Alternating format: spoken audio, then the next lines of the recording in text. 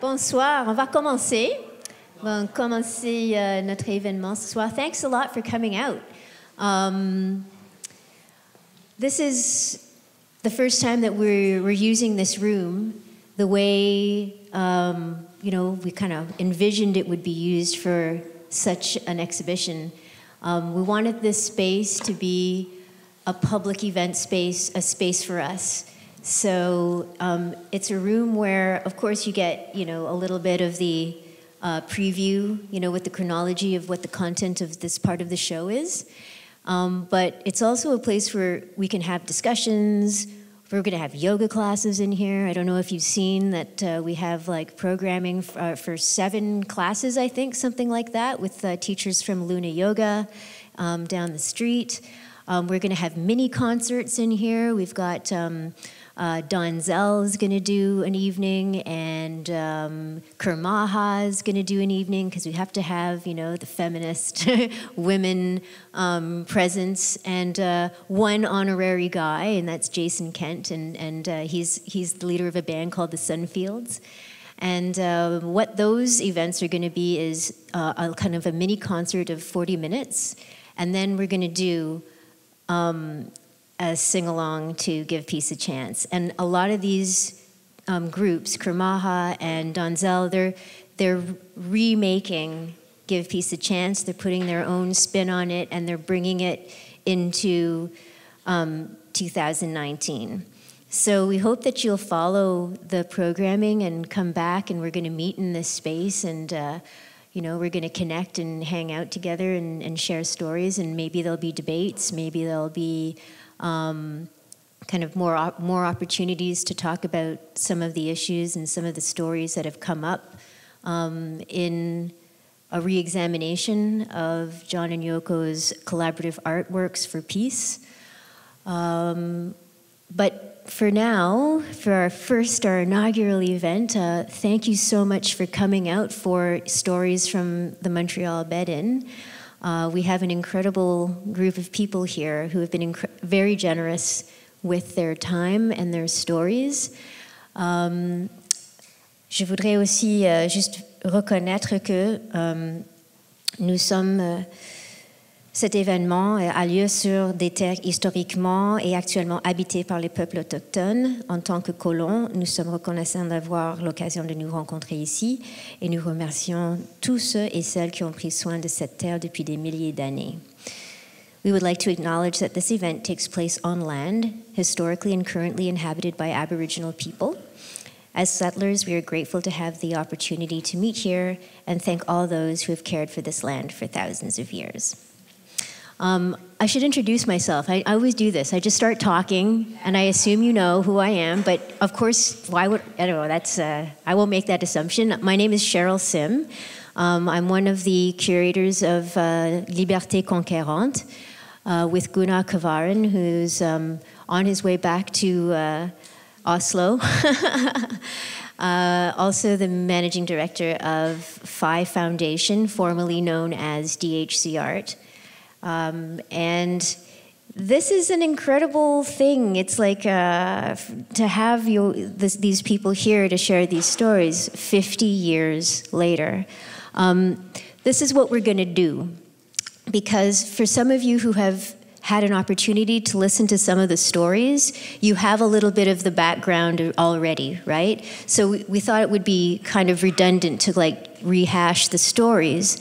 So what we're going to do is um, each person has been given one question, and they will have about five minutes to speak to that question.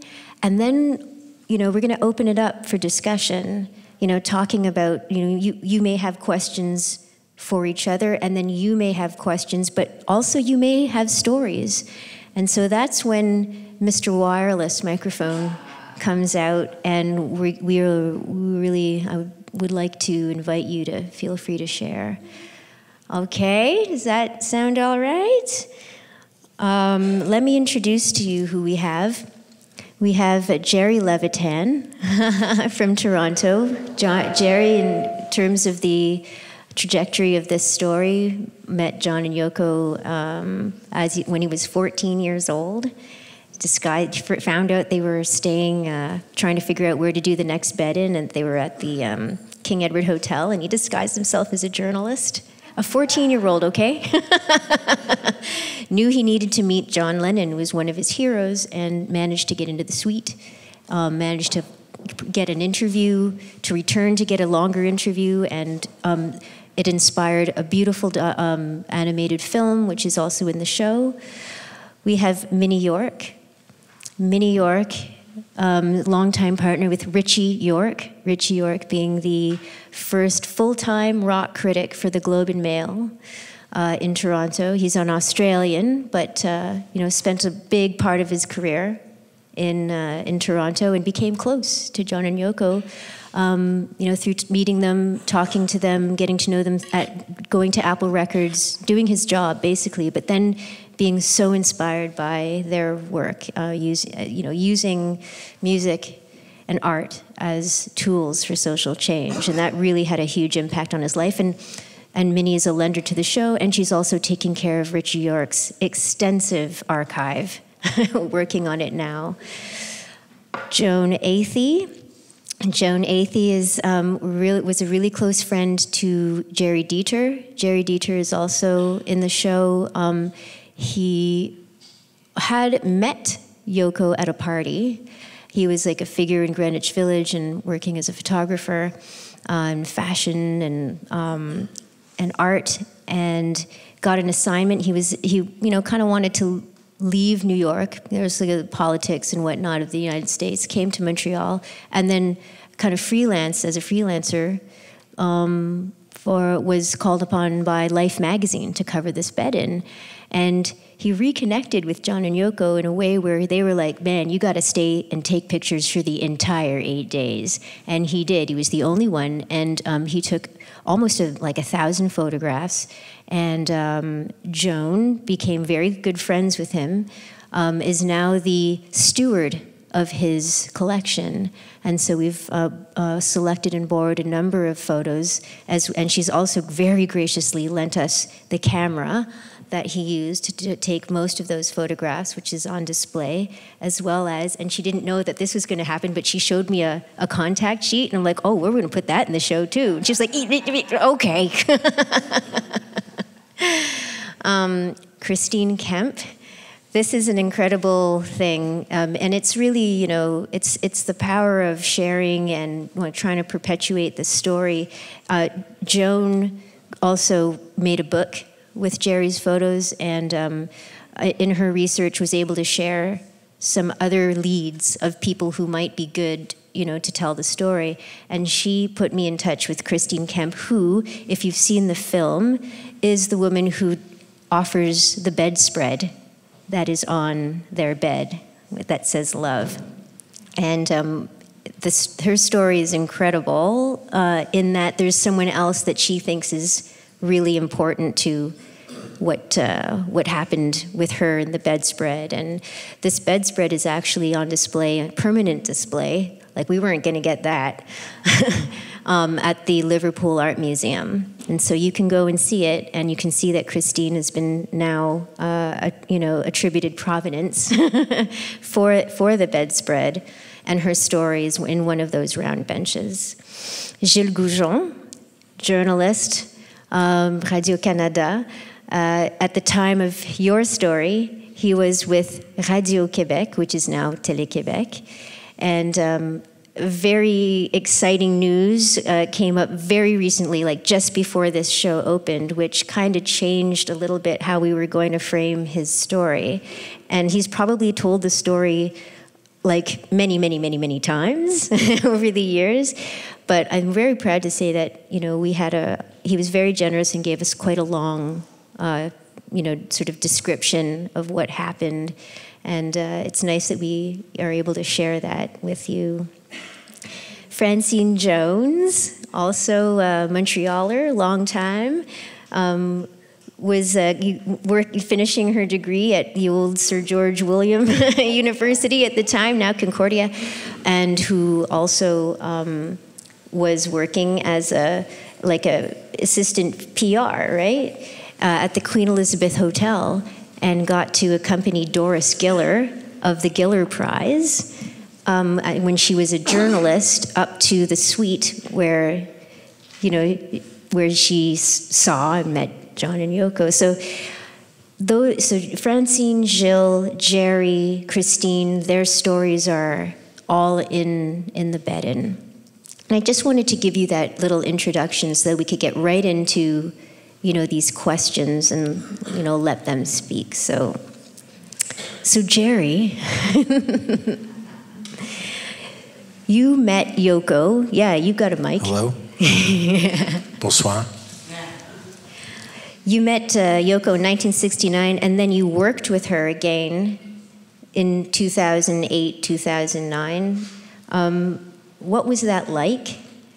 And uh, has your experience and perception of Yoko changed in any way? Um, I, I, met her for the first time when I was 14 in 1969. Uh, I had a 30 minute uh, taped interview um, of John and Yoko uh, when, I, when I met them. And many years later, I did a short animated film. Um, I edited the 30 minutes down to five minutes and had it animated by, by a few artists, local Toronto artists. Um, Yoko was not involved in that part of it, and when I did it, I had no uh, concept that it would be, you know, gain any kind of prominence. And it was the early days of YouTube, so what I thought uh, was that I would just dump it onto YouTube, um, and that, that's it. But it started to get prominence around the world at film festivals, and ultimately was nominated for an Oscar, and uh, I won an Emmy for it. It was uh, the first Emmy actually ever given for anything uh, on uh, on YouTube. Anyways. Um, leading up to that, uh, the pressure when you're involved with the Academy Awards is quite incredible, particularly if you're just a Toronto guy who has no film connections or or anything like that. And I had sent a letter to Yoko um, um, to her offices uh, in New York. Um, telling her about it. I sent her the film even before it gained any prominence and didn't hear anything back. And then um, ultimately, leading up to uh, the Oscars, um, individuals and institutions involved in it for commercial reasons wanted it included in this big theatrical film release, and I refused to do it unless Yoko um, said it would be okay. And um, there's one person who actually witnessed the trauma I was going through. Um, they were threatening me. The Academy Awards, this one person in particular was threatening uh, me. They were going to pull the film from the nomination and all this kind of stuff. Um, uh, unless I got her backing. And I constantly tried to get in touch with her lawyers. And then ultimately, a few days before I left for Los Angeles, I got a call from her lawyer uh, who said, um, he said, I have a quote from Yoko, and it is that uh, uh, you've handled this with great integrity, so you can do whatever you'd like. um, uh, that was my first involvement uh, with Yoko in that respect. Anyway, she had nothing to do with the film. Many years later, I had an idea to take some prose of hers that she had lent to a friend who had an art exhibit in, in Italy, I think, called My Hometown. It was a part of a larger piece. And I had an idea to animate it. Um, that was in 2011. Um, and she graciously said yes. And not only did she say yes, she offered uh, that we use as the soundtrack her song Remember Love, which was the B side to Give Peace a Chance, and to let us use John's strumming and play around with it as part of the soundtrack.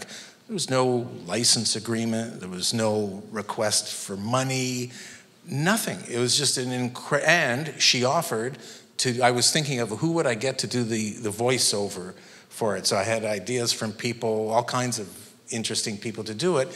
And then one day I got this offer through her, her representative that she'd be happy to go into a studio and record it. Uh, did it and sent it to me. Um, so the image that people have, not necessarily people in this room, but a lot of people have of Yoko as this person who broke up the Beatles, who dominated John, uh, and is such a difficult person to deal with. I'm sure she's difficult to deal with if she's trying to protect her interests and John's interests and, or in the integrity of her work. But, and I know there are other people who've experienced this too, for those who are just trying to do something artistic or something meaningful with their experiences with John and Yoko, she's unbelievably gracious and open and supportive um, and uh, enthusiastic. And so that's my experience with Yoko. And to just give a brief little anecdote, um, a few years ago I was in uh, New York to meet with somebody else. And whenever I would go to New York, I'd go visit her, her lawyer and just to chat and say hello.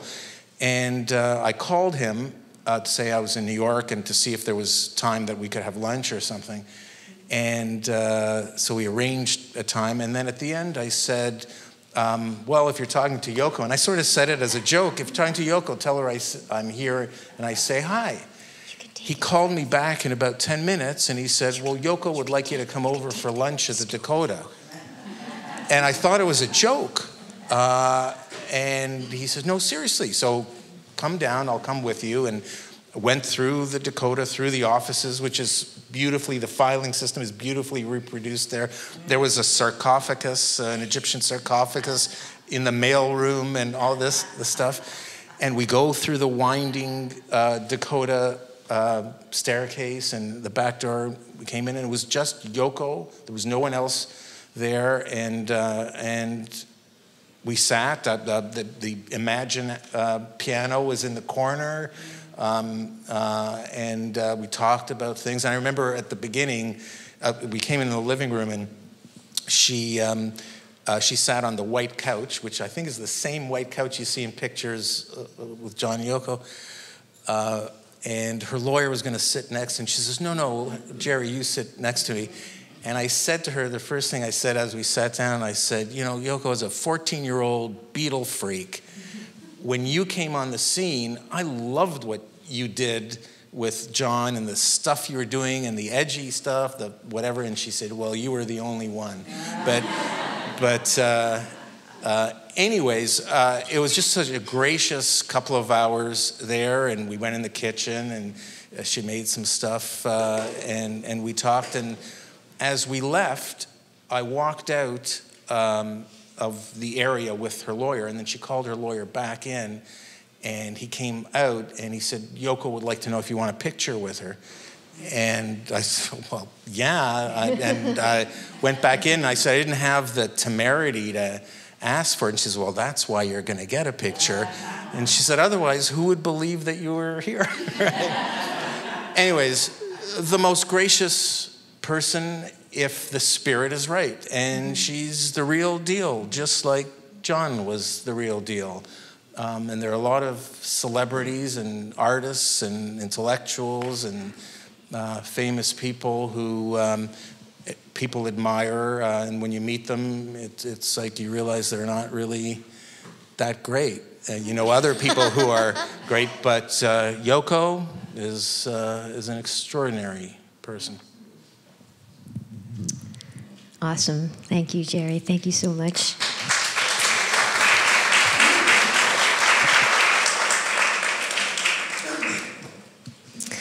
I'd like to call on Christine now. so you have your microphone right next to you. Yeah. So you just sort of hold it a little bit towards you. It's on. Yep. There you go. you can tell I'm a novice. I'm not used to celebrity.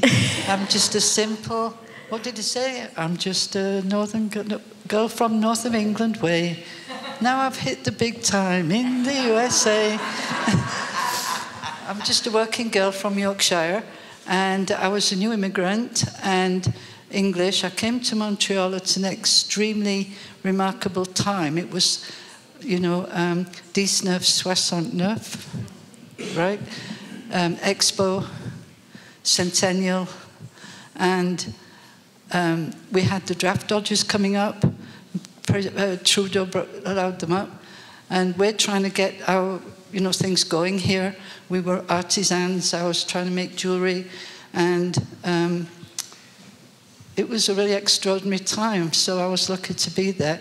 And then um, I was going to open a store uh, and, and put the atelier at the back and the retail at the front. And I made this huge, big, what we call the bedspread, as a room divider. And it was not anything to be a work of art or last or anything. And I just spontaneously made it quickly. And, and so that's what we have. And um, then I heard that um, John and Yoko made it through the immigration and were actually coming. And I thought, beautiful day in May. I'll, what am I going to do? Oh, I'll go and see John and Yoko. right? And people don't believe in those days you could do that. I went to Queen Elizabeth and I took that as a present. You've got to take a little present. And um, just rolled it in a Union Jack flag, went there. And the, the, the elevator guy, I said, Oh, I want to see John. Yeah, sure, come up. you know, people talk about guards and things like that. Well, not in my experience. I just walked in and, you know, opened the bedspread not too much going on. So one of the photographers said, go and do that again. It was kind of neat. So, right?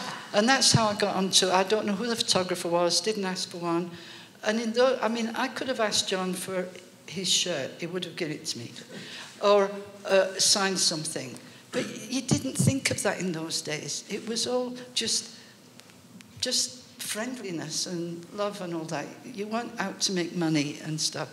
But anyway, after that, you know, that was the end of it. I went on, lived my life. And just by accident, um, I, I, had to, unfortunately, move to Toronto. I love Montreal. I'm sorry. T- Torontonians, forgive me. I'm sorry, but I lived in, I lived in Montreal till 1990. And all the best things in my life happened here my maturity, my growth, my everything happened here. But you know, life demands things. I had to go to Toronto.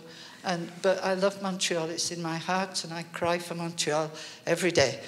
I love you folks. And um, anyway, I'm so happy to be here. But what happened anyway?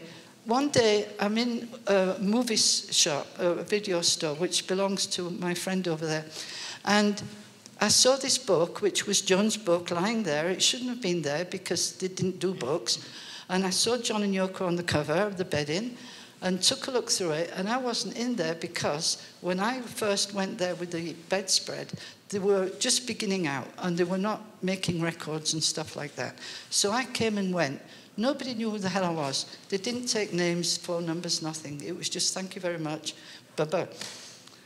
And then so I, I saw this on page 50 something. Underneath it said the bedspread is in the Liverpool Museum. Can you imagine? I'm an old lady now. It's like 40 years later. right? And I don't know how it got, I never even thought how it got from the bed-in to the museum in Liverpool, okay? Um, and and um, Liz at the back there, that lady who's hiding at the back, she thought this was a great story when I said, This is mine. She looked it up on the internet when I was not there and found out it was the Hare Krishnas who had donated it and given it. And she contacted the museum and said, This English lady's been in my store. She made it, and I trust her, I believe her. It was not the Krishnas. Now they're ready to open. they're ready to open this big multi million dollar new um, gallery right? And this is going to be the iconic big attraction. and so the whole world is going to say, oh, you know, Hare Krishnas gave that. Hare Krishna, you know, we're talking about provenance. And I, I didn't. So, so they said, yeah, but, you know, anybody can kind of look for money and fame. Prove it. We need proof. How do you prove 40 years after when I haven't signed it or anything? Always sign your work. Have it, have it notified. Um, so this is the hero of my story. John and Yoko are obviously the heroes and the work they do and everything. But my hero of the story is Liz, because I w- I didn't have the internet, nothing. I'm not very good at it. She spent the next months and months trying to find every single person who had been at the bed-in, had anything to do with it, who could say, yes, we can prove that this lady is what made the bedspread and gave it. Try that. So after months and months, she said, Chris, I'm sorry. I can't come up with anything. You know, some are dead, some have moved away, blah, blah. I'll give it one more try. So she tried one more time. And then she called me back about a week later and said, Chris, are you sitting down? Do you have champagne? I said, What is it? She said, Go to your email in the library and check. I went over that, and there's that photograph. So, you know, this one photograph, that's all we had to prove the provenance of that. How lucky, how. So we have this trail of coincidences that I went in the store that day for a movie that Liz wasn't supposed to be working there, she did, but she did. The book wasn't supposed to be there, right? And we happened to read on page 54 or whatever that it was in the museum. Otherwise, today we would still be saying that the Krishnas donated this, right? And but nobody could prove it because how do you go back to the Krishnas that were in Montreal in the 60s and say who made this thing? So this is an interesting story, but we still don't know how it got from the bed-in to the museum. So anybody who wants to do some detective work and do a research paper, go with it. So this is my hero. Liz, would you please stand Liz. up? Just stand up, stand up.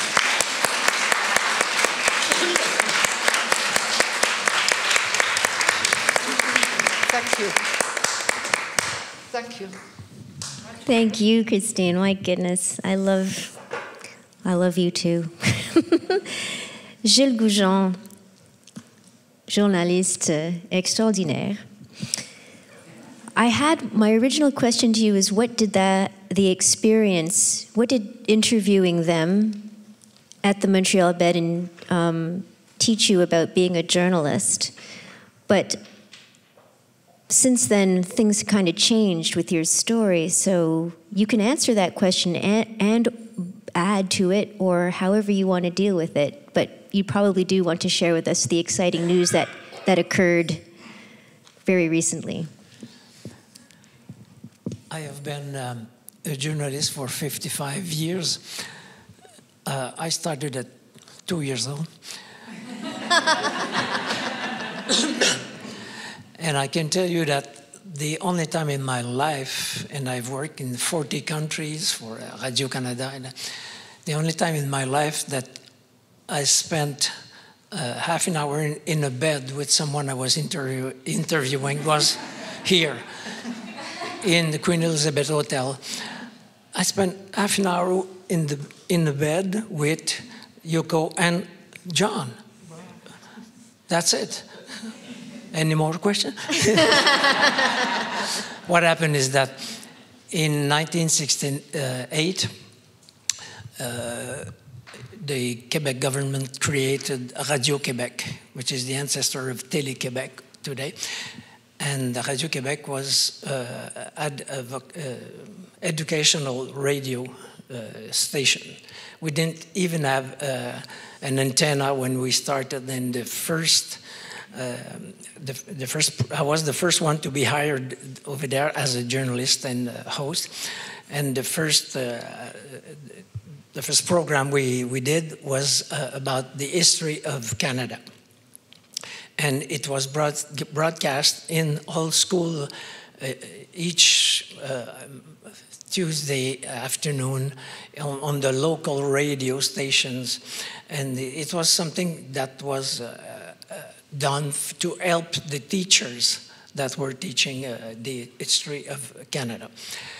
But there was also uh, an English section in uh, Radio Quebec that was dedicated to uh, create that kind of uh, radio show for educational purpose.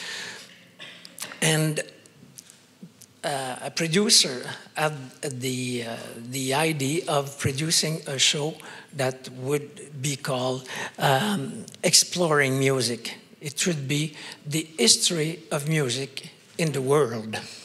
only that. And he had the idea uh, that uh, in the history of music, the Beatles had an important an importance. So he was in touch with the, the organization of uh, John uh, and Yoko in, in Great Britain. But then suddenly there was this bed-in in Montreal. So it was, I think, on Monday morning, he told me, are you free on uh, Tuesday or Thursday afternoon? I said, yes, I'm doing another show, but uh, I'm free. Could you give me a hand? Uh, we would uh, interview uh, John Lennon. I said, okay, we'll go. That was as easy as you, you said, you just said. We just went. There were in, there were about 200 or 300 person in this room, this seven, 1742 uh, suite.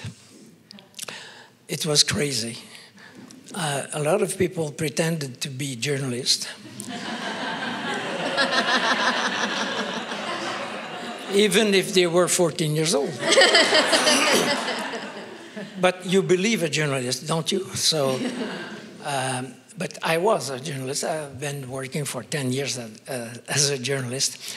And we just said to someone who pretended to be in charge of something, uh, we uh, we are from Radio Quebec, and we have asked an, an, an interview. We have asked John to give us an interview about the influence that he got when he was a child from other musicians. He would, and uh, John Lennon uh, accepted that we uh, we interview him because it was to be uh, an educational uh, uh, radio program. So the guy who was supposed to be in charge knew that we were there. We were three, the producer, the sound man, and me. And there was a, a lot of uh, journalists that came from uh, United States because, and they were quite rough with uh, John Lennon because uh, he had smoked uh, something that he was not supposed to smoke. Uh, were, and uh, he was against the war in Vietnam, and the Americans were in Vietnam. And John and I, if we would have been Americans, we would have been drafted to go to Vietnam. This, I was 26, so uh, I would have, I would have had to, to go to, to, to Vietnam. And a lot of people were asking questions. It was a press conference or something that they would call a press conference. And all the questions were about peace. Not against war, but pro peace. And then some, it, it, it lasts maybe for 45 or 60 minutes. I don't remember too much. It's 50 years ago. And then somebody stood up and said, okay, guys, it's over. Everybody out except Radio Quebec. Nobody knew us, even people from Quebec, other journalists, because we didn't even have an antenna. we, we were starting. So it took a while before people left. You know, that you don't kick a journalist like this out, you know, they protest. And, well, they, they got out. And suddenly, we were the three of Radio Quebec together with a guy in a bed and his wife. As they were uh, in the bed, I had to take off my shoes because I never sleep with my shoes, you know. So I, I took off my shoes and I went in the bed. And uh, I remember that uh, I was not on the good side to interview directly uh, uh, John. So there was uh, Yoko who was here, and John was there. So I always have to go like this. I think that she didn't like it very much. but that's that. And we started to talk. It, not a straight interview. And he, he let me understand that uh, it was funny to hear questions that were not related to peace, but to kids, to, to the music. So I was talking to a musician, not a guy who was saying, stop the war. And so we started to talk. It, was a, it was not a straight interview. It was supposed to, to last something like eight or 10 minutes. It lasted for around 25 or 30 minutes, talking together, but mostly I was asking questions. And he gave me, he was very uh, helpful, he was very kind, he was generous. And sometimes uh, Yoko was whispering like that.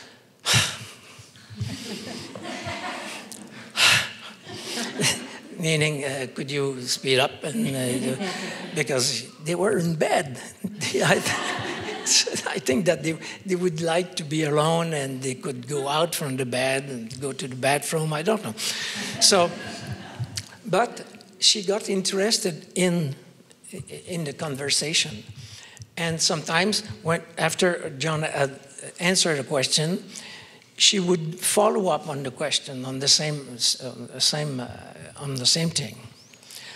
And so we asked about uh, the all the the people who had influenced him when he was 13, for example. He said Little Richard, Elvis Presley, and he named people.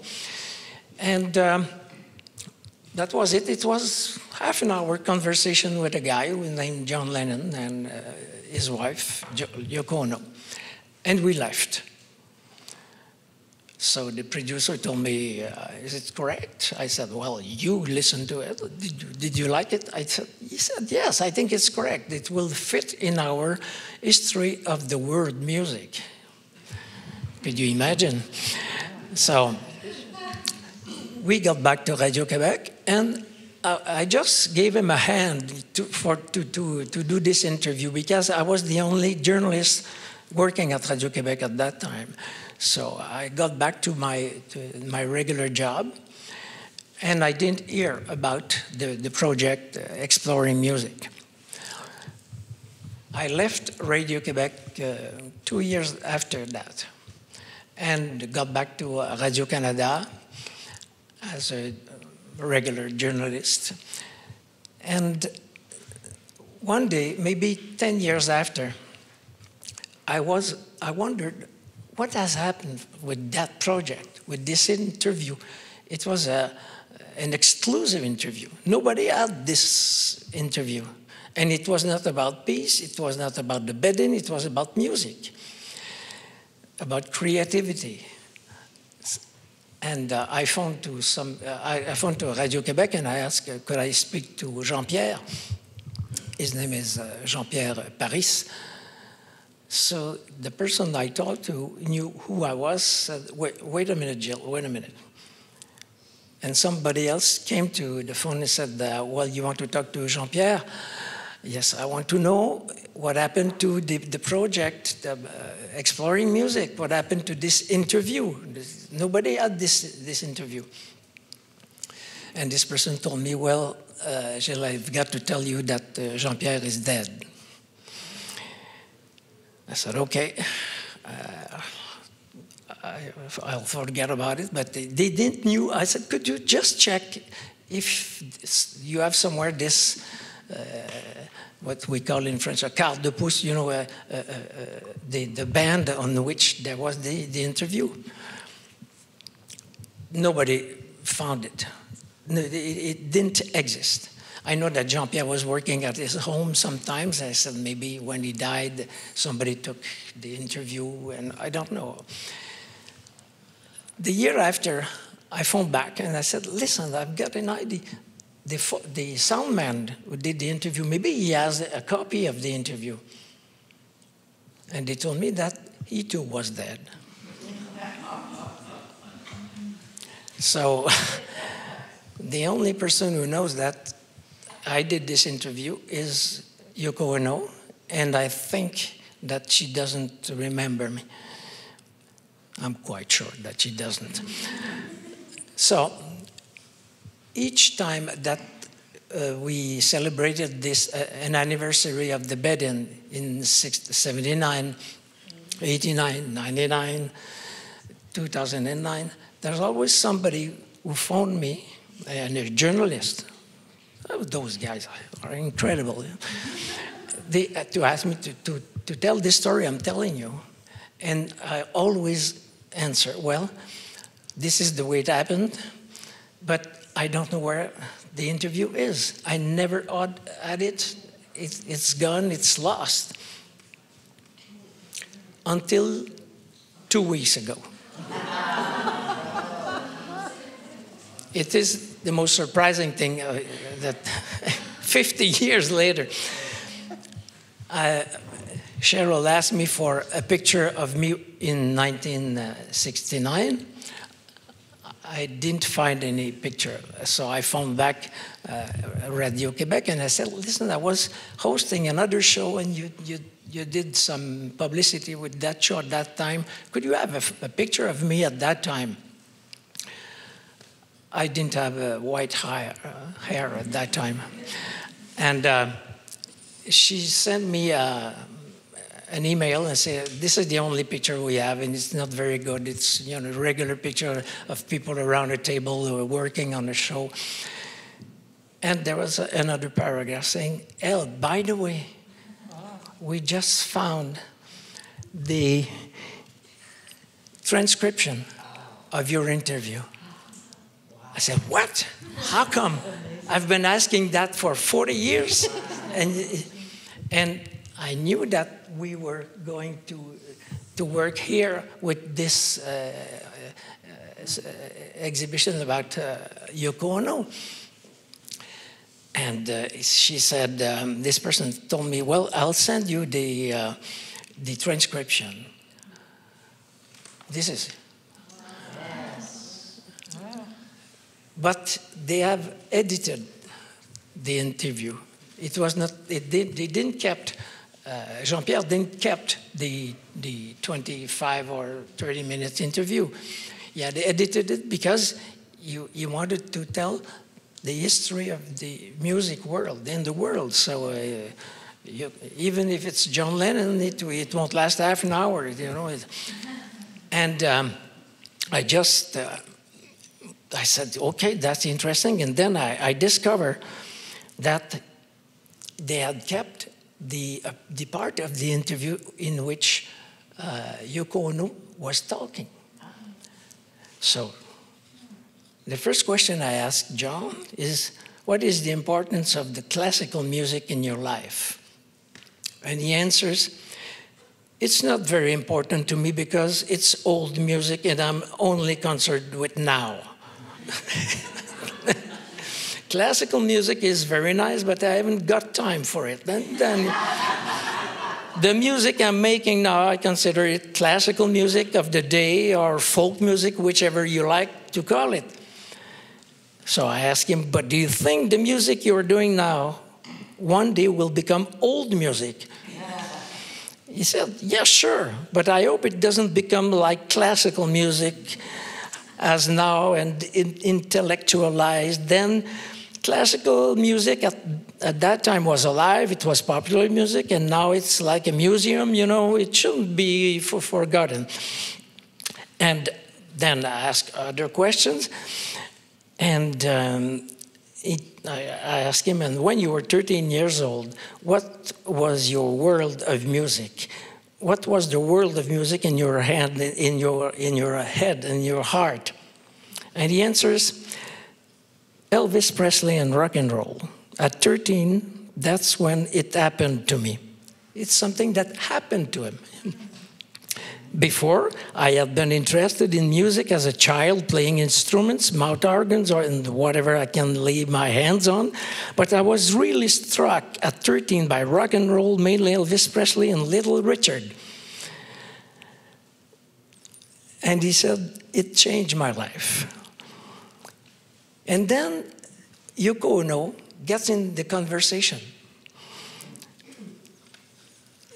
I ask her, in your life, was it the same thing when you were 13? And she says, I am 10 years older than John. It's not true, it's six and a half years. So I'm 10 years older than John, so it's a different generation. And when I was 13, and listen to this, it was just after the war. I was brought up in classical music tradition. So the music that I was playing was the piano and listening to all to Bach, Beethoven, Mendelssohn, Debussy, Ravel, and all those people, you know, and later Honegger, Messiaen.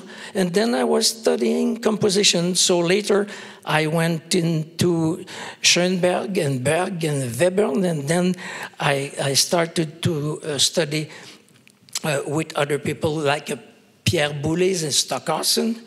I was quite surprised. The main interview was switching from John to her for the purpose of this program.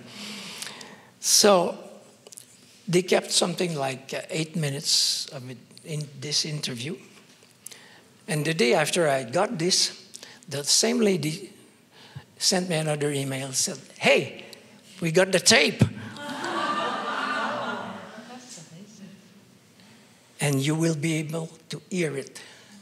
It's here you will hear, well, my voice when I was 26, but you will hear John and Yoko talking for something like eight minutes about music in their bed without anyone around. This is something you don't uh, forget, you know. I've been waiting for, for this for 50 years. And the, the worst thing that happened to me is that 11 years after, uh, I, I, was doing a, a, documentary report about the election of Ronald Reagan and, uh, uh, for television, a one hour show about who's that guy that will become president of the United States. And, and the day before we left uh, California to come back to, uh, to Montreal, we were, the, the producer and I were in uh, a place where you buy uh, records, and they were playing and playing and playing uh, Beatles songs and John songs. And I said, oh, "What's happening?" We were. It was on December 8th, and the announcers sometimes came in and said, "Well, we are remembering you that John Lennon was killed this morning in New York City." I froze. And that's the day when somebody killed my youth. That's it.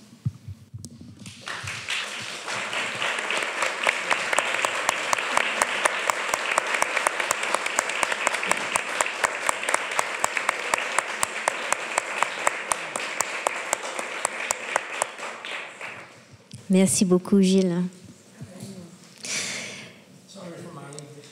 it's, it's fantastic. Um, Francine, Francine Jones here. I had a two-parter for you, which is, uh, did it seem did it seem perfectly normal to you that famous people such as John and Yoko should be in Montreal at that time? And then, sort of like a back then and now a kind of present question, as a practicing artist yourself, what is one of your favorite Yoko Ono works or John and Yoko works, and why? Did you say John and Yoko? Well, I, now I'm just opening it up. I'm throwing you a curveball, but you can, you know, do with it what you will. Okay, I have a very simple little story, but there are all, all these stories seem to have a piece, a missing piece of a puzzle. As you put them together, they sort of fit in. Um, but I have a very modest little story. Um, my question was whether it seemed perfectly normal for famous people such as John and Yoko to be in Montreal at that time. So I guess I have to sort of position myself in that. Um, out of curiosity, how many people here were present at Expo 67? Yeah, okay. All right, so I'm going to fill in a few of the um, missing blanks in a way. I know you all have heard stories about this. Um, at that point in time, um, to answer the question, yes, I thought it was perfectly normal for celebrities and for people to be staying in the city automatically. I was uh, working in my very, very first job, and I had landed quite by accident a job um, working for the area director of public relations and advertising as his assistant. He didn't have one before. We shared the office. It was kind of like out of Mad Men, you know, everybody in the office. And uh, I was flying by the seat of my pants, trying to learn as quickly as possible, and going to school at night to get my degree at Concordia. And that would be the beginning of 15 years at Concordia at night, working full time.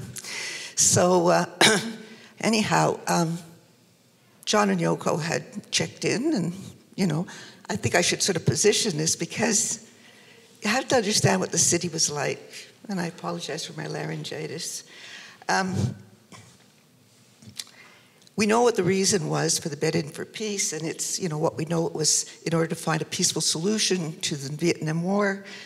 But it was also a time which followed, time frame wise, the Expo years. And I think what happened is before Expo, a lot of people in the city doubted that anything, you know, that it would happen. Everybody was very doubtful.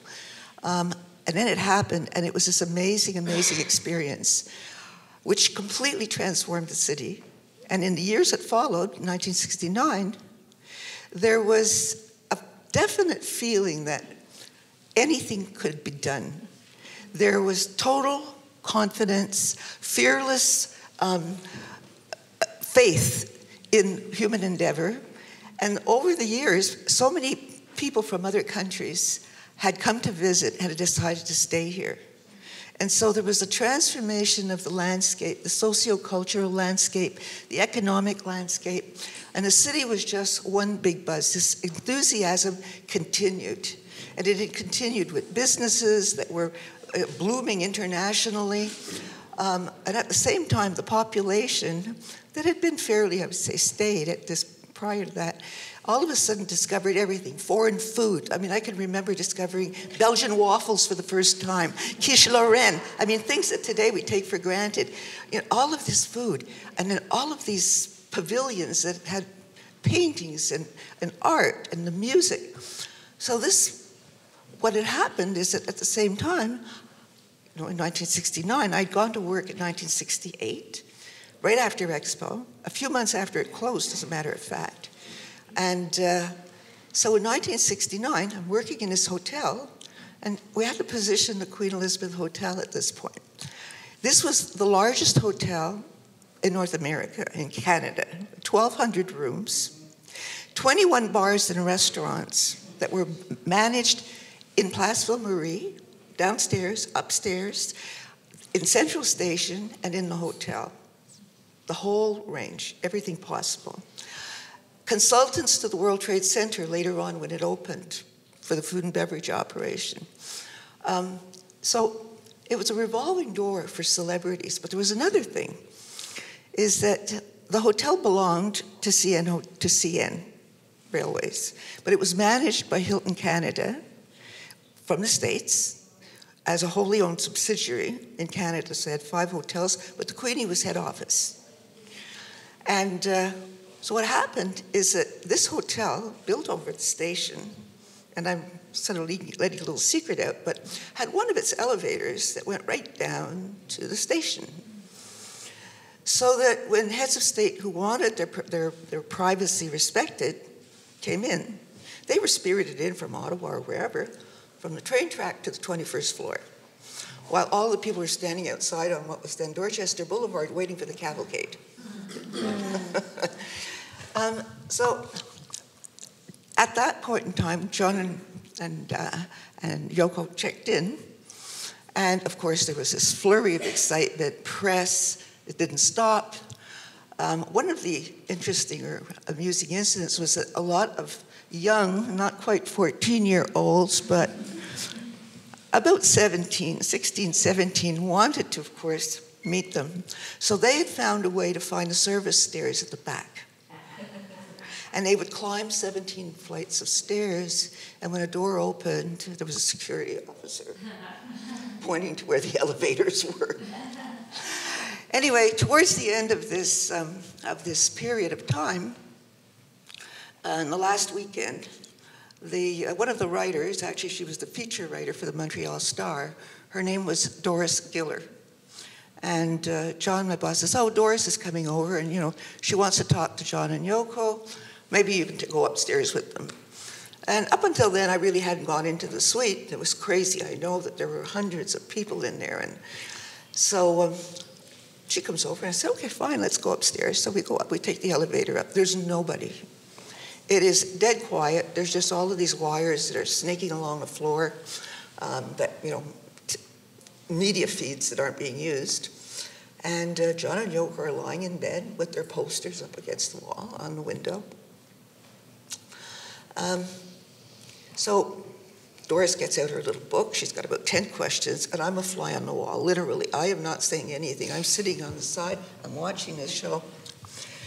I remember Yoko with her hair out like this, and this little child jumping on the bed, flinging flower petals from a basket in little yellow frilly panties. Um, turns out it was her daughter, Kyoko, who was about three or four at the time.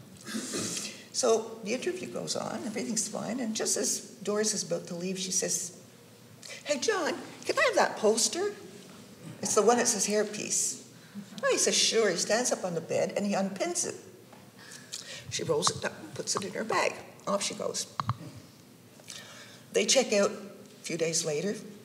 I don't think anything more of it. There's probably somebody else coming in. It's like a revolving door because all these people stay at this hotel. And um, a few, I guess a couple of years later, Doris and her husband moved to Toronto. She goes to the Toronto Star, and then she gets cancer and she dies. Unfortunately, she was a wonderful writer. Her husband, who adored her, wanted to pay tribute to her, so he created the Giller Prize. But 10 years passed, just in, you know, 10 years ago for the 40th anniversary. By this time, my life had changed. I was no longer with the Queenie. And among the various things that I did, other than teaching marketing at Concordia, John Olson, was become a guide at the museum. So they had, a, you might remember, there was an exhibition at the time for the 40th. And in that exhibition, posters were put up. And posters were put up, they were white and black. But in museums, when something is not authentic, you have to indicate it by showing that it's not the same mm-hmm. color or whatever. So there's one poster that's yellow hairpiece. And the only person who knew where it was and where it went was me. But at that time, I really didn't want to talk about it too much because I didn't want to give my age away. But I decided I'd, I'd let it fall for this one. So I told the story. So, in fact, come back to the original question, did it seem normal to me that famous people would stay at the hotel? Yes, because the city was was bombarded with people who were quite famous, people who became famous over the years, who set up ballet companies. You know, all, the cultural landscape changed totally in the years that followed Expo. It was quite amazing, and that uh, that buzz, that excitement, continued. It was really electric, and everybody felt it. It didn't matter who. So um, I don't think I realized the impact, and it was when they 10 years ago it was celebrated, and now, even more, I thought, geez, you know, how stupid was I not to realize what this was? So that's my little story. I don't know if there's anything I've left out. I wanted to see if there was, but I made some notes before, but I think I pretty well covered it. Um, about my favorite artist, the way the question was, was phrased to me as a practicing artist yourself, I, I paint and I make jewelry. What is one of your favorite works and why? And I didn't realize that it should have been related to this because I hadn't seen it. Doesn't have to be. No. no. I'll tell you, my favorite artist is one whose name isn't a household word. Um, some of you may know him, but, I, but his name is Lyonel Feininger. And he was born in 1879. He was German.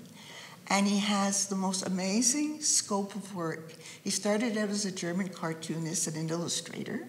And he actually, his cartoons were published in the, in the Chicago Tribune. And then he switched, he discovered Cubism. Oh, wait a minute, excuse me. No, then he, he started to paint and he created these amazingly whimsical street scenes with people that are seen from two perspectives. On the one hand, you can see the top of the roofs. On the other one, they're all elongated from short, for shortening. They've got long legs and sort of a thinner body. So it's like you're seeing them from two positions. Then all of a sudden, after doing this, he discovers Cubism. And his work evolves into these massive works, and they are razor sharp, they're huge, they're beautiful. Fell in love with them. So after that, he left Germany in 1937, went to New York City, lived there till the end of, till he died at 85 in 1957, I think. And when I look back, because I've guided a lot of shows at the museum, and when I think back, the one I think that I enjoyed the most is his, and that's it. Thank you. If you have a chance, check him out online.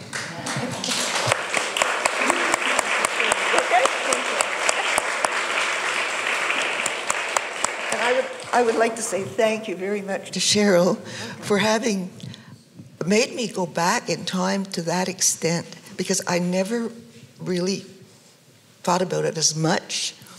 And so thank you. Big thank you. You're welcome, yeah.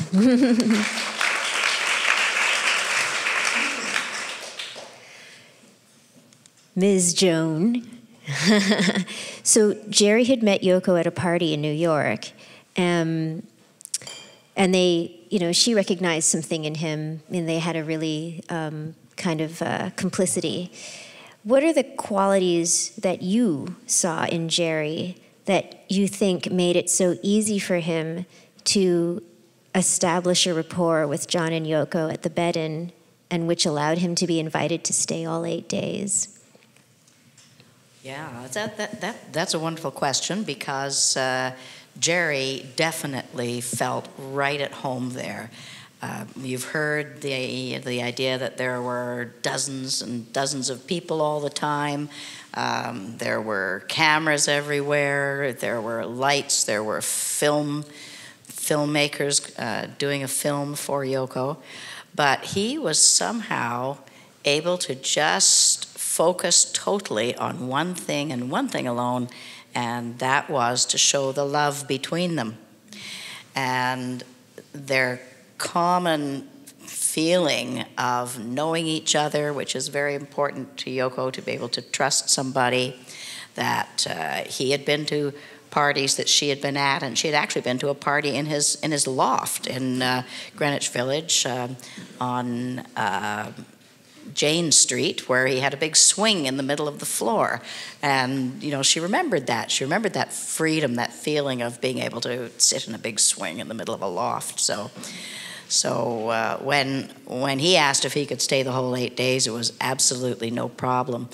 He was the only still photographer to stay the whole eight days. That's kind of a fine fine historic line to say because obviously there are thousands of pictures of the bed-in out there, and uh, only he has taken their uh, sincerity and their commitment and been able to use his art as a photographer to create uh, what you will see in the exhibition here. There are 19, 19 images. And I myself wondered why was it that he was so comfortable with, with this? And how did he manage to get these beautiful pictures? Because he died suddenly. I never thought I would ever purchase the, uh, uh, the, the archive from his estate, but you know, I ended up I ended up doing that, and I never asked him any serious questions really about about the bed. And He was a gregarious person, a larger than life personality, and you you think these people will never die, but but there he was, he did, and uh, as I've immersed myself in the art and gotten to know wonderful people uh, I, I realized that there was a little part of his career which he kept pretty close to himself. He, and that was when he was spending some time in Los Angeles. He did shoot stills for the pornography film industry. And so he knew his way around a bed. That's really, that's really it.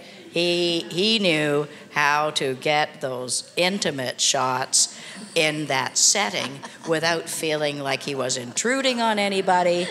And so I would say it was like the perfect storm for a, for a photographer. so here, here he was, uh, you know, fed up with the uh, political situation in the U.S. He, he knew he couldn't stand it any longer. He needed to get out. So he came to the New York of Canada, which was Montreal and has so beautifully uh, uh, described by, by Francine. Uh, he was immediately uh, into the fashion industry and was a stringer for Time and Life magazine. Another reason why he worked so hard and stayed those eight days was because he was on assignment for Life magazine, and they had said, You will get a cover and you will get a double page spread. And if that happened, that made your career as a photographer. So he was, uh, he, he, should have been nervous probably, but with all that at stake, but, but he wasn't. He put his entire being into, into getting, getting the photographs. And when you see the exhibition here, as uh, Jerry said, that uh, you know, Yoko is a very generous person if the spirit is right. This whole exhibition in both the buildings is the right spirit. And believe me, we've all studied and, and have been inhabited by, by the bed in, and you're very, very lucky to, to, have, uh, to have this and, and a good long time to come and come again. You know, you'll be able to figure out when it's not so crowded. So, so that's, uh, that's how Gerry Deiter got to. Uh, got to do it. And of course, you know, I am a publicist. There is my book, which is on sale in the in the Phi Center. Exit by the gift shop. And you you know you'll see this picture. They they are so serene. He is reading to her from uh, a wonderful book, Lao Tzu, printed in 400 BC, or yeah, C, sorry, before the Common Era, and. Uh, she's listening, and you would never guess that there were dozens and dozens of people there. But he captured that moment. They were also in a bubble of peace. They could turn off all the chaos and just feel the beautiful things that were that were happening and you can imagine how refreshed John felt as an artist with a partner like that to to help him. Thank you so much, Jane. Perfect.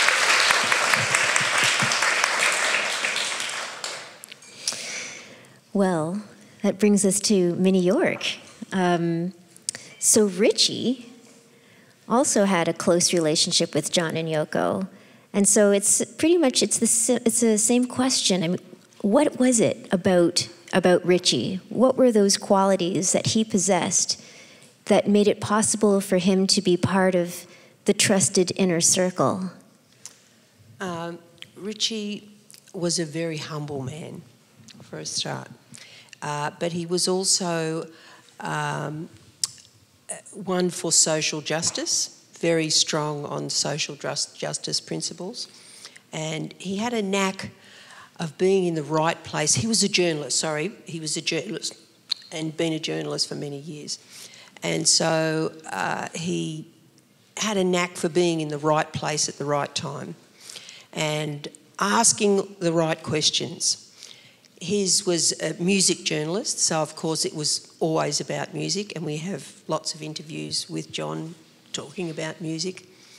Um, but uh, from the bed-in days, though, he, he developed a relationship by travelling backwards and forwards from Toronto uh, interviewing in the Apple offices and, and got to know John and Yoko on a personal kind of basis.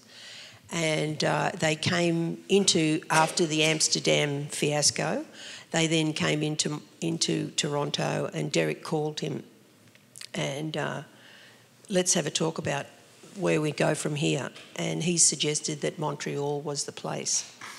Uh, and so he'd had he'd built that trust over a period, a long period of time, and uh, so he admired John for so many things in that uh, John had this social consciousness about uh, music being the instrument of social change. And uh, Ritchie's career was based on writing about the music. He never picked up the dirt in amongst the rock and roll scene. Uh, so uh, he was very much respected on that level by, by of course, many musicians. Um, so I think that's really what it was that John saw in him. And um, of course, his friendship with Yoko has lasted, well, till he passed in 2017. Um, he was very close to Yoko all that time as well. So that relationship, I think, is something that um, you earn. It's uh, out of respect. And um, yeah, he certainly did that. I think that's the simplest way to put it all. And I'd like to take this opportunity also to thank Cheryl for allowing us to be a part of this uh, wonderful exhibition. Um, Ritchie's, uh, yes, I have many pieces here in the exhibition that have only been unearthed out of his archive. I've been uh, digging into his, his, yeah, it's a big job, and there's been uh, uh, lots of things that have um, surfaced, but it's great to see them here in, in a, on the world stage. Um, sorry, I'm not good at this. Very good.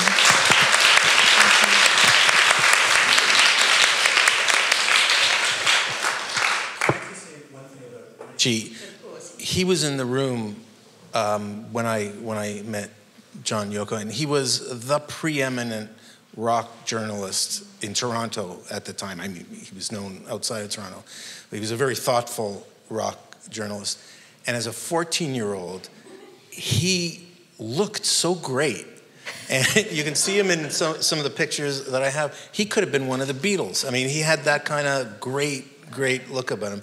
But I have, I have memories all that time back thinking, this is one cool person. And I remember that they had a rapport, that John and, and Ritchie had a, had a cool rapport. But anyways, it's, it's, it's very touching for me to connect with you and remember about Ritchie. Thanks. Yeah, um, it brings me to some interview material that we've only, like I said, uh, Ritchie has an extensive archive, and we're fixing broken tapes, and we're doing all sorts of things. And in amongst it, we find interviews of uh, being at Ronnie Hawkins's house um, I'm not sure whether everybody's familiar with that, but they did a, a, trip into Toronto and they didn't want to stay in hotels, so Ronnie opened up his house.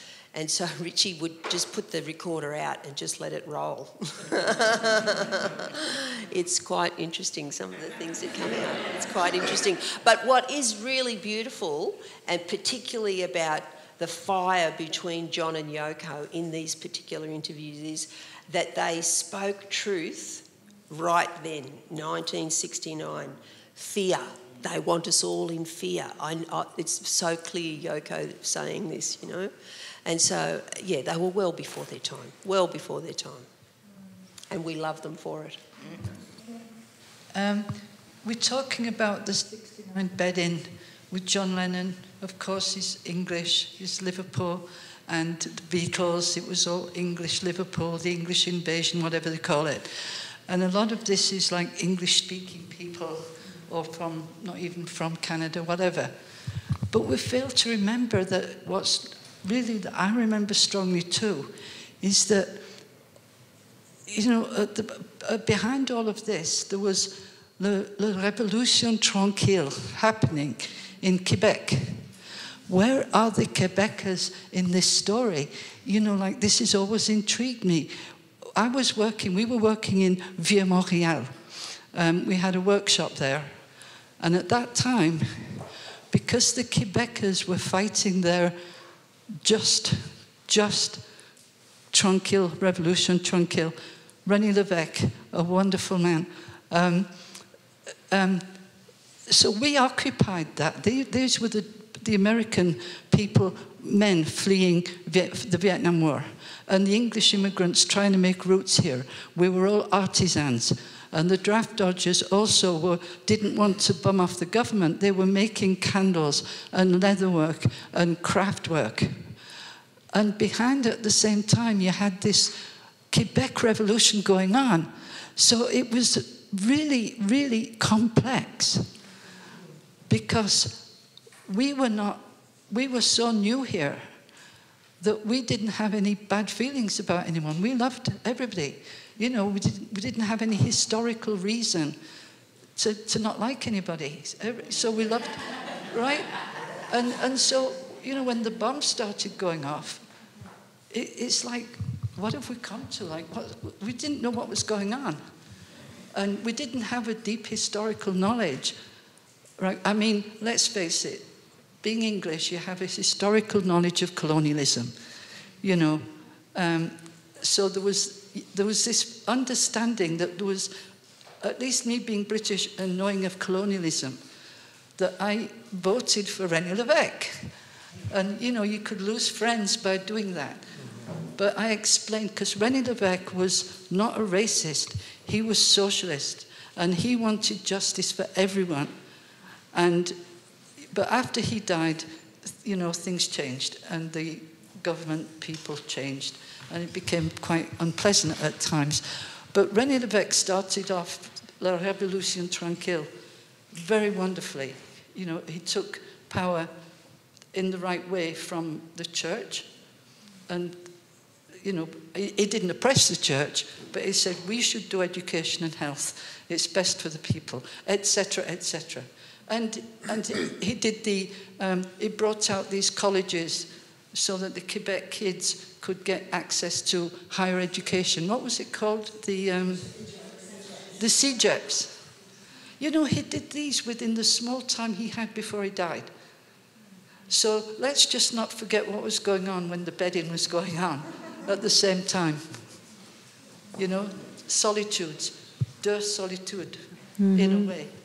That's so right on, Christine. I mean, it's actually an amazing um, observation, and you know, the film that starts off the exhibition, we really uh, wanted to include the, Les Maîtres chez nous, you know, Révolution Tranquille, everything that was going on as part of, you know, exactly. the context at the time, and and it's just brilliant, you know, what you're bringing up, and it's a good segue to open it up. I mean I was also very concerned, il faut avoir une représentation uh, uh, québécois et francophone.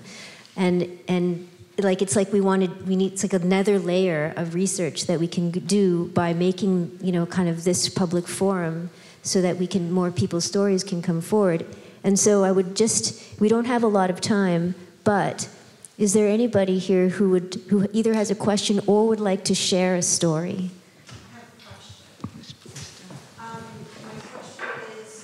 the gentleman uh, over there.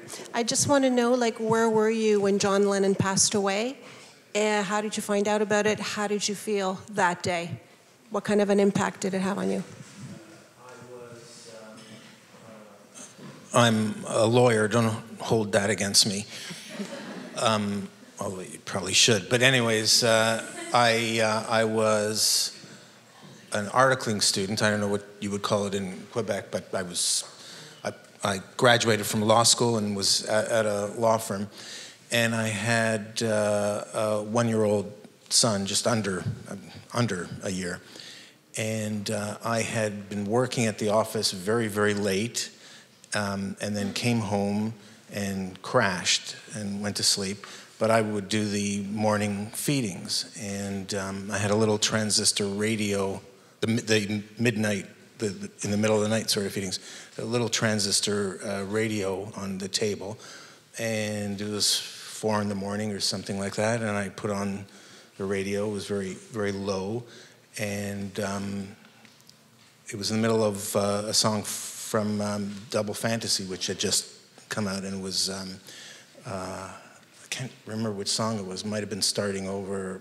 Anyways, um, the song ended, and the uh, announcer said John Lennon dead uh, by a bullet, and it, it, you know I'm holding, you know, a baby, and uh, it was just. what, what, can you say? This is horrible. You know, of all the the the the rock stars, um, he was the last person you would have expected to be murdered. You know, like not that you want anybody to be murdered, right? But you know, if it was one of the Rolling Stones, you would have been upset. But you would have thought, well, you know, they were pushing the envelope, they were asking for it. You know, I mean, I'm, I'm that you wouldn't want anyone to be hurt. But you know, it was just, I mean, everything that he, the Beatles were about, and everything that he was about, and what he did with John, uh, with Yoko, uh, it was just. Anyways, that's that's where I was.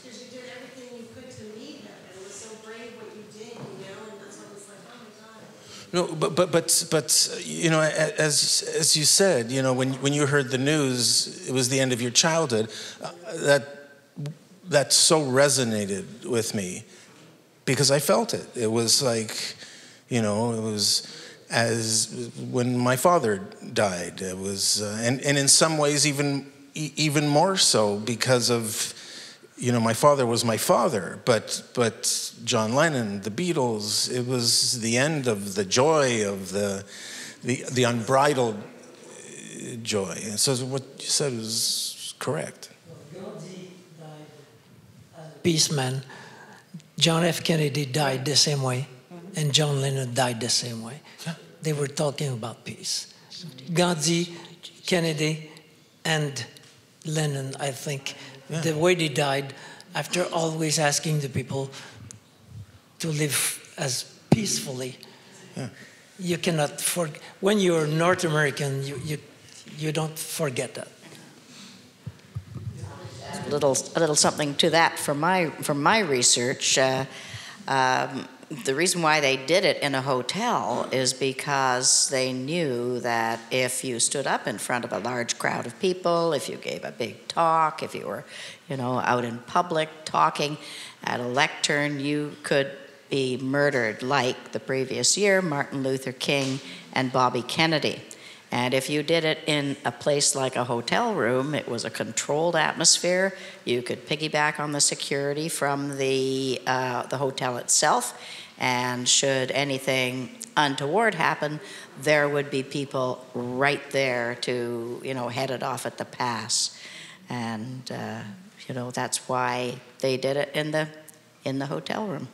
But one thing they did is that you remember that there were half a million people in Washington, D.C., protesting against the war.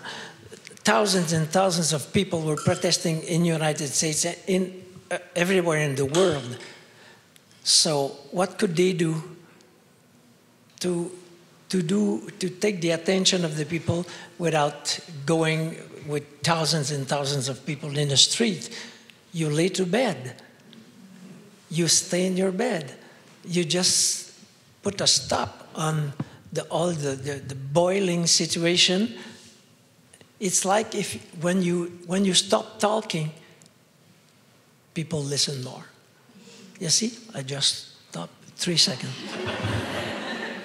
Well, Yoko had a long history of using media to uh, get her message across. So she uh, would place, uh, you know, an, an, ad in the Times, uh, the New York Times, before she met Lennon. And it wouldn't be like, come to this gallery and see my work. It was her small, perfect phrases or a call to action of some sort. And uh, so by, by uh, applying modern methods, uh, which is exactly in the unpublished interview, which is in the gallery there, like, like yourself. I ended up with an, an unpublished interview because the story never ran in Life magazine. Uh, they, um, they were able to use media, modern methods, to, to get their message by being still. We have one more intervention here, and um, here you go.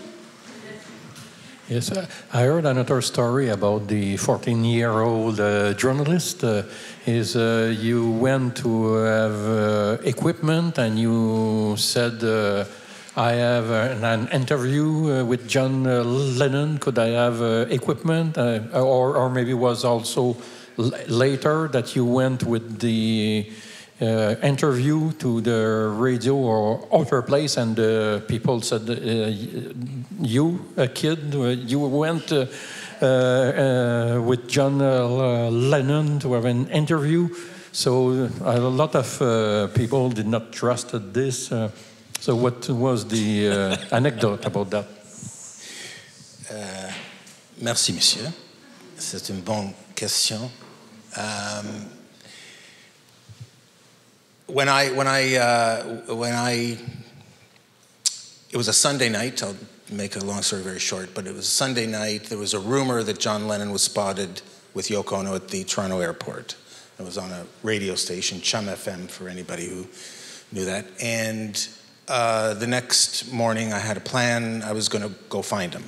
So uh, I didn't go to school. I didn't tell anybody. I dressed in a way that I thought a reporter uh, would look like, and I, I didn't look like a reporter. Um, and I took my brother's Super 8 camera. I didn't know if there was film. I took my sister's Kodak uh, Brownie camera that you would hang over your neck and pull a visor, visor up. Uh, um, and I went to the King Edward Hotel, which is where the Beatles had stayed when they were in Toronto before. I went to the top floor around seven in the morning, knocked on every door until I found them. And they let me, they thought it was funny, and they let me stay in there. And Ritchie was there at one point. I can't remember when. I don't think he was there at the beginning, but I was there from eight in the morning till about one. And then people were asked to leave, and then I asked, uh, I lingered around a little bit, and I took the long way out, and John was in the bedroom trying to push a, a, a sea chest, a luggage seat chest on, onto the bed. Um, and God or, or somebody inspired me to say, as we're pushing, um, can I come back later with a tape recorder and interview and Yoko for peace? And he said, Yeah, great idea. Yoko, Yoko, Derek. Derek Taylor was the Beatles uh, PR guy. They came in, and this kid is in the bedroom. Mean, today it would be a shocking story, right? But this kid is there, and John's saying, Hey, got a great idea about Pete, we'll talk about peace. We'll take it to a school. Yoko, that's why we're doing it. And she was excited. And he said, okay, set it up to Derek Taylor. And I left. So, to make a long story short, I went various places, went to my school, caused pandemonium. And then the vice principal uh, uh, uh, came out because there was a mini riot. I had the Two Virgins album that I brought and was showing everybody this. Uh, and the vice principal told me to, you know, go home, right? So I went home and I literally passed out. No one was home. I passed out and I woke up in a cold sweat. The first time I, I had that kind of awakening, it happens frequently now, but um, I woke up in a cold sweat. I didn't have a tape recorder. And so I called Chum, the, the radio station in Toronto. And by now, it was confirmed that John Yoko were in Toronto, and I called the news desk and I said, Hi, I've got an exclusive with. It was more like this Hi, I got an exclusive with John Lennon at six o'clock. Uh, and the guy says, Yeah, right. And I said, No, you can call the King Edward, ask for Derek Taylor, and here's my number. Five minutes later, uh, he called back and he said, Oh, hi, yeah. Okay, um, so we'll have someone at the King Edward at the bar on the main floor and we'll have a tape recorder and uh, and I said well if you do that then you can play my tape um, on the news and great okay anyways so I go down to the King Edward and it's there the police, the RCMP, uh, Toronto is way more stuck up than Montreal. Okay, so there are police, there are ropes, there's all kinds of stuff going on.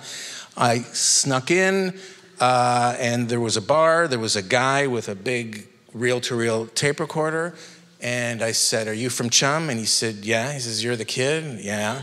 so this, this journalist, this journalist, a rock journalist, is there being a guy carrying up a tape recorder.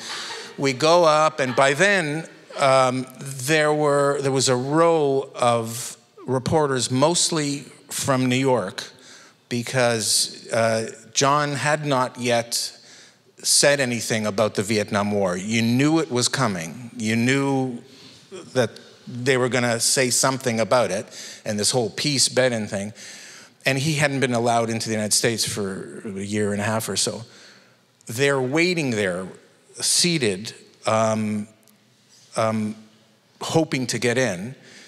What they didn't know is they had a plan, thanks to Ritchie, uh, to leave Toronto and sneak out and go to Montreal. So it was six o'clock.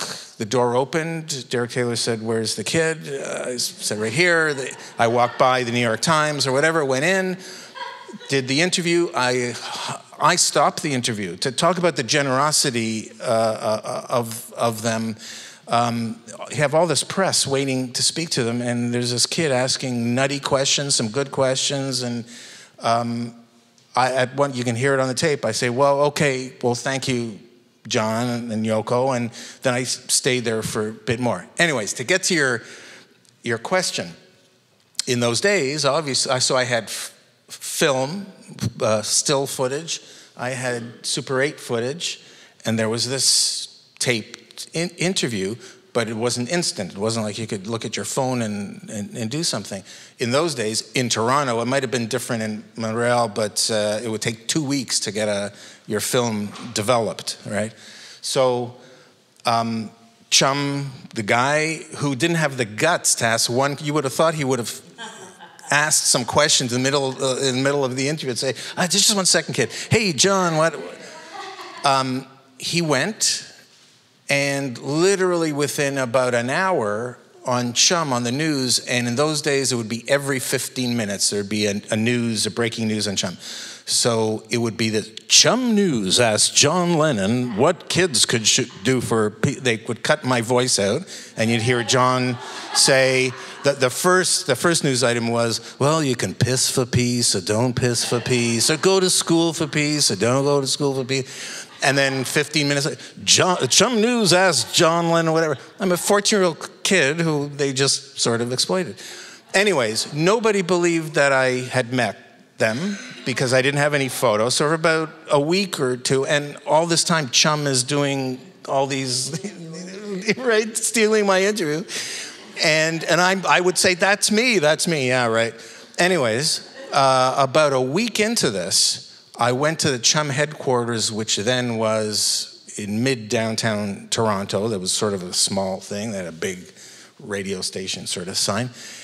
And because I would call and say, Where's my tape? Where's my tape? And the guy would like blow me off. So I went there and I caused a scene. I was yelling and screaming, and I said, I'm gonna call the police, I call the police, and I was just going nuts until they came out and they just gave me the, uh, the, the tape. So that's, that's a long winded story, but that's basically what happened. And it w- wasn't until I had that tape. I remember that night, my uncle Mike had a reel to reel tape recorder. He came over and we listened to it, and my brother, who didn't believe this story, my older brother, I remember in the kitchen, and I, I still, my desk is still the kitchen table the kitchen, my father, my mother, uh, my uncle, my brother, like my brother's jaw dropped, right? And then a few days later, I had the, I found the, the, the I had the photos, and then the rest is history. But anyways, that's the story.